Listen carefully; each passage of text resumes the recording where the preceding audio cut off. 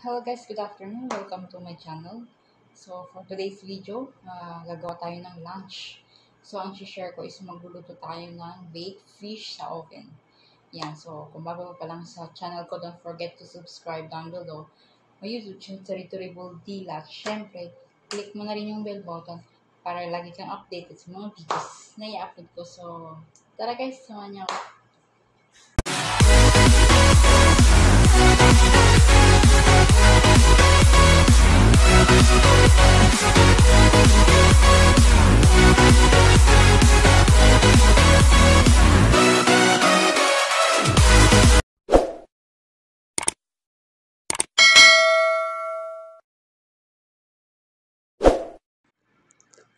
So, ito yung fish, guys. Yan. So, yan siya, guys. Yung tinatawag nilang hammer. Yan. Hammer legume fish. So, ibibake lang natin siya. So, lalagyan lang natin siya ng ingredients. Yan. Tomato, onion, garlic, tsaka ginger. So, may vegetable siyang konti. Yan, potato, tsaka pusa. So, yan lang yung seasonings niya, guys. So, black pepper, salt, maji, and paprika. So, yan, guys. Lalagyan na natin yung uh, ingredients natin yan. So, lalagyan din natin itong vegetables. So, yan siya, guys.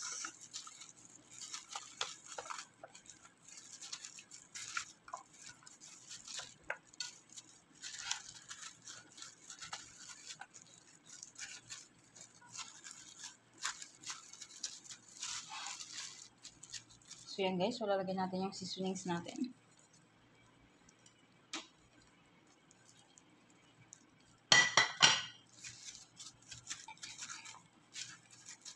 So, yan guys. May mix lang natin siya.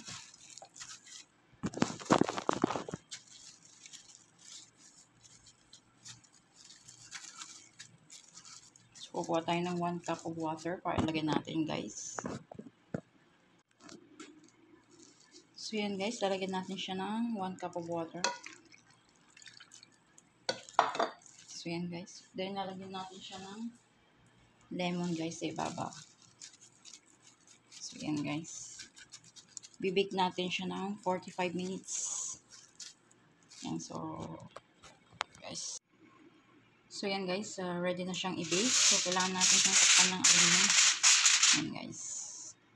So, yan guys, lalagyan natin siya sa 180. Yan.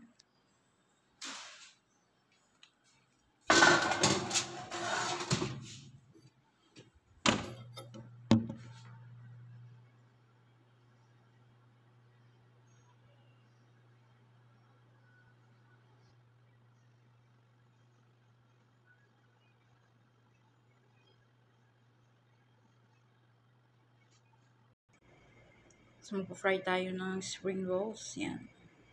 Kasama ng ano, baked fish. Yan. So, pa-fry natin to. So, ang gagawin kong ano, soup nila is uh, adash. Yan. Yun guys, pa-fry natin yung spring rolls.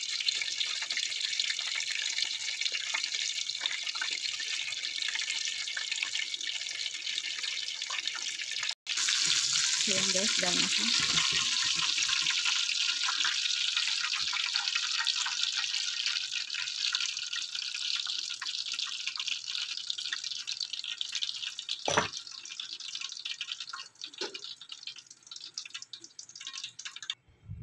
So, yun guys, silipin natin yung ano, fish natin. So, alis na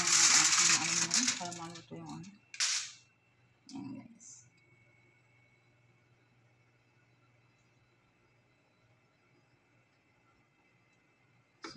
Natin siya ng 10 minutes.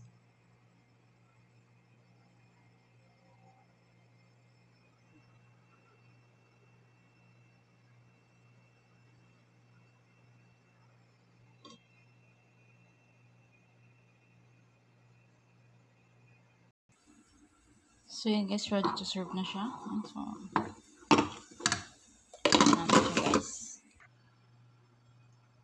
So yan guys, done na siya. So, papatay na natin siya guys.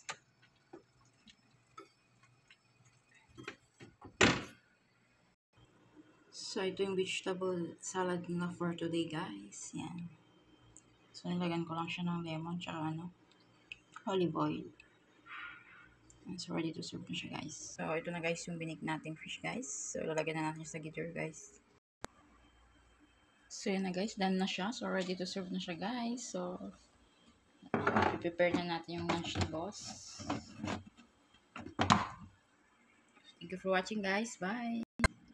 So, ito naman yung soup nila, guys. Yan, yung adash or yung munggo na giniling, guys. So, yan. Ready to serve na siya, guys. Bye!